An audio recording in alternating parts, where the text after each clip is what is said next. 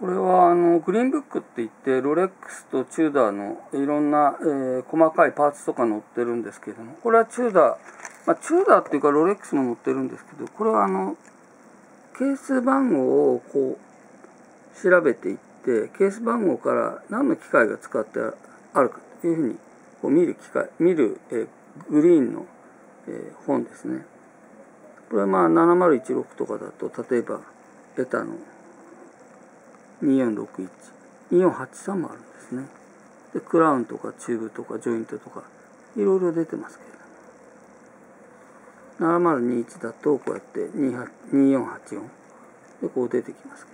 ど、なかなか貴重な本ですよね。まあ、こういうのがロレックスだともっとでかくて、